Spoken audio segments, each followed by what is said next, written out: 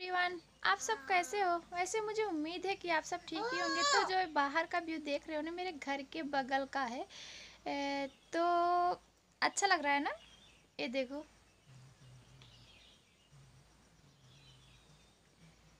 अगर अच्छा लगा हो तो मुझे कमेंट में ज़रूर बताना है क्योंकि मुझे बहुत ही अच्छा लगता है।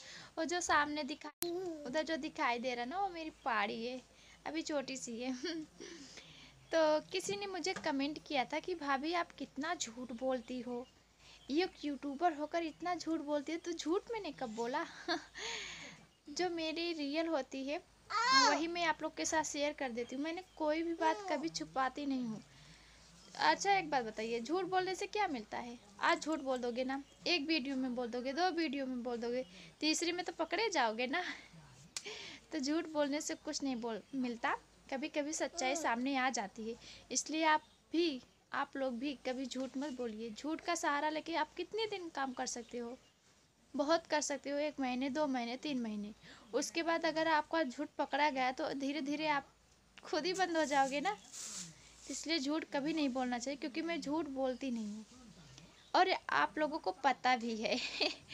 मैं सत्य हमेशा बोलती हूँ। जान भी देखो, जा रही हूँ अपने मामा के पास। तो आज मैं अपना ब्लॉग जो है शाम से स्टार्ट कर रही हूँ। आई होप आप लोग को मेरा ब्लॉग पसंद ज़रूर आएगा। तो ये आप लोग देख सकते हो। और किसी ने बोला कि, भाभी, आप जो है शाम के समय स्नान कर रही हो और मतलब शाम हो चुकी है, चार बज के पैंतालीस मिनट हो रहे हैं और आप बोल रहे हो कि जस्ट अभी हम नहा के आए हैं। कितना झूठ बोलती हो। को पता होना चाहिए ना, देखो जैसे शाम है तो शाम का धूप कुछ इस तरीके से होता है। है ना? और सुबह जब मैं आप लोग के साथ शेयर करती हूँ तो सुबह का धूप कुछ अलग तरीके से होता है। तो आपको पता होना चाहिए ना, शाम है कि सुबह है। और वैसे हम हमेशा जब भी हम अपना ब्लॉग स्टार्ट करते हैं, आप लोग को बता देते हैं कि सुबह है या शाम है, या दोपहर का समय है। हाथ दुखने लगता है, क्योंकि हाथ से ऐसे कैमरे पकड़ो ना तो दर्द होने लगता है कि नहीं? और बोलती हैं कि जो है, आप हर किसी का जो है नकल करके वीडियो बनाती हूँ तो मैं कभी किसी का नकल नहीं करती। जो मुझे आता है, मैं वही आप लोग के साथ शेयर कर देती हूँ।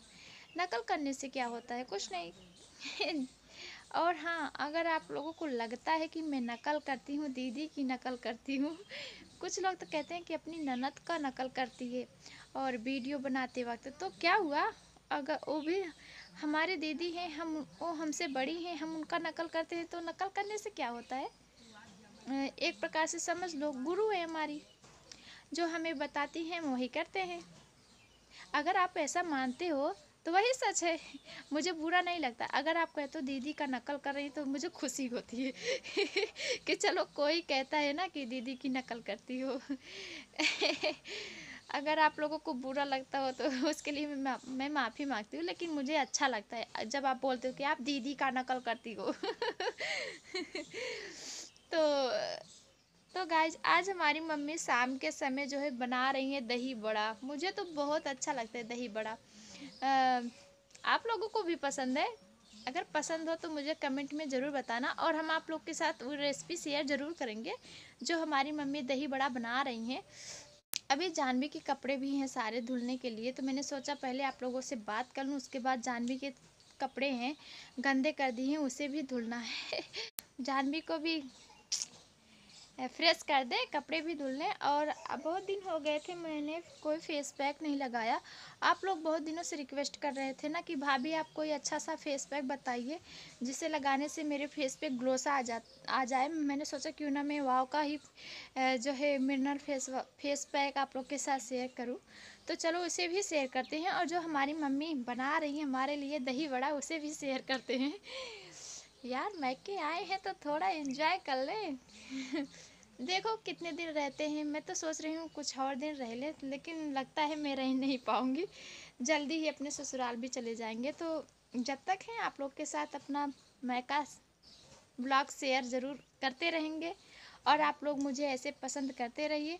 अगर आप लोगों को मेरा वीडियो पसंद आए तो मेरे चैनल को लाइक और सब्सक्राइब कर देना। और अपनी फैमिली के साथ शेयर करना ऐसा तो मत भूलना, क्योंकि क्योंकि भाई मैका है तो मैका मेरा हर किसी को दिखना चाहिए ना। क्योंकि ये हमारी जन्मभूमि है। मैं अपनी जन्मभूमि को बहुत मिस करती हूँ। यही तो मेरा जन्म हुआ था। लेकिन मुझे शर्मिंदगी महसूस नहीं होती। ये मेरा कच्चा घर है ना। तो क्या हुआ? पक्के हो या कच्चे हो? मकान तो मकान ही होता है। और है ना? में चलते हैं और थोड़ा फेस पैक भी लगा लें। उसके बाद बहुत सारे काम हैं, जानवी के कपड़े भी धुलने हैं और थोड़ा दही बड़ा भी खा लें और रेसिपी भी शेयर कर दें आप लोग के साथ। चलो, थोड़ी देर बाद मिलते हैं। यहाँ पे मम्मी ने जीरा भुना हुआ है। अब इसे सिलबट्टे पे पीसेंगी। एकदम बारीकी से पीस लेंगी। मम्मी ने उड़द का दाल पहले से ही पीस के रख दिया था और इसके बाद जीरे पीस रही हैं। अब कढ़ाई में जो मम्मी यहाँ बड़ा बना रही हैं। उसे तेल में जो है छोटी छोटी पकौड़ियों की तरह इसे तल रही हैं, जो उड़द मम्मी पीसा था। अब यहाँ पे मम्मी ने बना लिया। इसके बाद दही पहले से ही फेंट के रखा था तो जो बारीकी से भुना हुआ जीरा मम्मी ने पीसा, उसे भी इसमें डाल देंगी और काला नमक भी डालती हैं। अगर आपको जो है काला नमक कम पसंद है तो आप थोड़ा सा काला नमक डालिए उसके बाद सादा नमक भी डाल सकते हैं। डालने के बाद जो बड़ा मम्मी ने छान के रखा था उसमें अब भिगो देंगी दही में और इसे अच्छी तरह से चला ताकि जो नमक है अच्छे से मिक्स हो जाए कुछ इस तरीके से। अब इसे एक प्लेट से ढक देंगी जिससे बड़ा अच्छे से फूल जाए। क्या हुआ? नहीं दिए? ले लो। गुस्सा हो रही है, देखो। मम्मी आज ने उड़द की पकौड़ियाँ बनाई थी तो वही हम जानवी और जानवी के मामा, अमित हमारा छोटा भाई, हम लोग बैठ के खा रहे थे। तो चलो तब तक खा लेते हैं, उसके बाद हम थोड़ी देर बाद आप लोगों से बात करते हैं।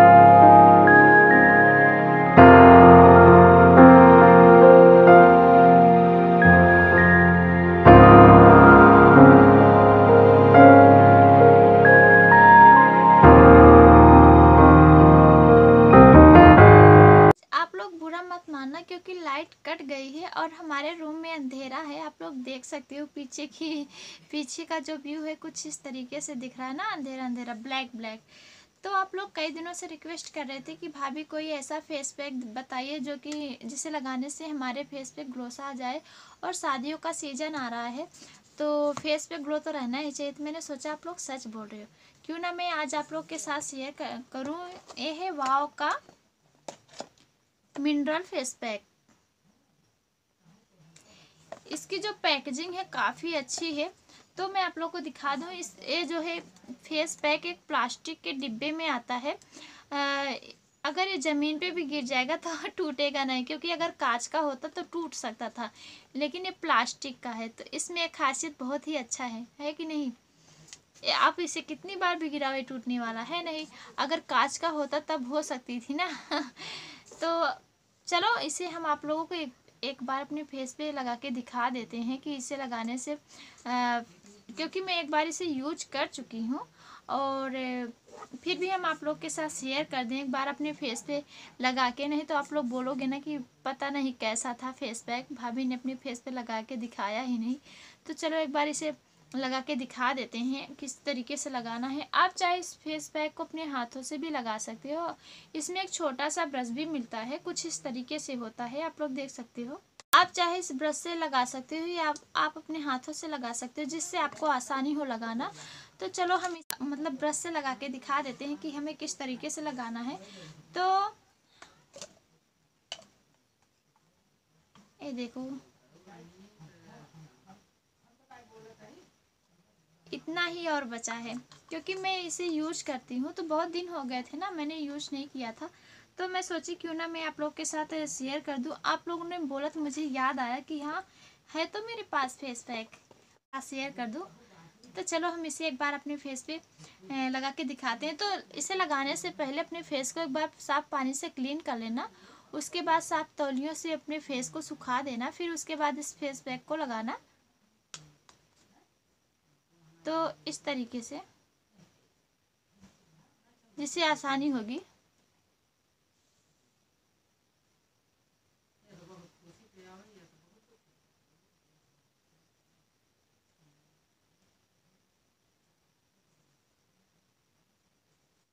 इसकी जो खुशबू है ना, बहुत ही अच्छी आ रही है।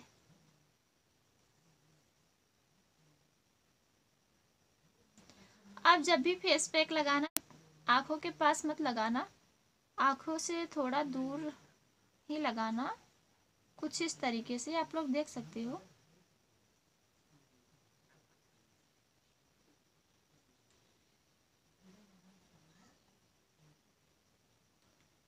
तो जब तक हम इस फेस पैक को लगाएँगे, आप इसका रिव्यू देख लो। ठीक है? उसके बाद हम आप लोगों से थोड़ी देर बाद मिलते हैं। तो गाइज़ ये है वाव का मिनरल फेस पैक चलो हम इसके बारे में कुछ आप लोगों को बता देते हैं। बाकी इसमें बताने की कोई ज़रूरत नहीं है हमें। इसके पैकेजिंग पे पूरा डिटेल में लिखा हुआ है। आप खुद ही पढ़ के जान जाओगे। लेकिन थोड़ा बहुत थोड़ा बहुत हम बता देते हैं कि क्या है इसमें। इस फेस पैक में विटामिन बी पाया जाता है। भी तो इस फेस पैक को लगाएँ। विशेष ध्यान दें कि आपके आँखों के पास ना लगाए। तो मैं बता दूँ कि इसमें क्या क्या पाया जाता है? बीज, मक्खन शक्करकंद मीठा बादाम का तेल आदि बहुत कुछ पाए जाते हैं। तो अगर आप लोगों को पसंद आए तो मैं इसका लिंक डिस्क्रिप्शन में दे दूँगी। आप वहाँ से चेक करके ले लीजिएगा। हम इस फेस पैक को साफ़ पानी से क्लीन कर लेंगे। कुछ इस तरीके से आप लोग देख सकते हो। वाह कितना ग्लो आया ना हमारे फेस पे। गाइस आप लोग देख सकते हो, संध्या हो चुकी है। मम्मी यहाँ कपड़ा धुल रही हैं और अमित जो है हमारा भाई जानवी को लेके टहल रहे हैं और उस खाट पे अम्मा बैठी हुई हैं। तो हमारे बाहर, घर के बाहर का व्यू है। तो शाम के समय कुछ इस तरीके से लगता है। आप लोग देख सकते हो क्योंकि मैं आपको टाइम भी बता देती हूँ। शाम के साढ़े पाँच बज रहे हैं और जानवी यहाँ बॉल खेल रही हैं। तब तक चलो जानवी के साथ इंजॉय कर लो। हम थोड़ी देर बाद मिलते हैं ठीक है?